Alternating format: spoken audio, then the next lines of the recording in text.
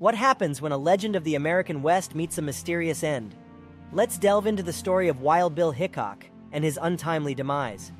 James Butler, Wild Bill Hickok, a renowned gunfighter and lawman, met his end in a place as wild as he was Deadwood, South Dakota.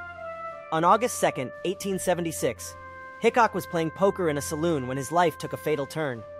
A young drifter named Jack McCall shot Hickok in the back of the head. The motive? A disputed poker game. Hickok, known for sitting with his back to the wall, had ironically taken a seat with his back to the door that fateful day. Hickok died holding a pair of aces and a pair of eights, a hand now known as the dead man's hand. His murder sent shockwaves through the frontier community and beyond, so the next time you play a hand of poker, remember Wild Bill Hickok, a stark reminder of the lawless and unpredictable nature of the American West. And as always, thanks for watching.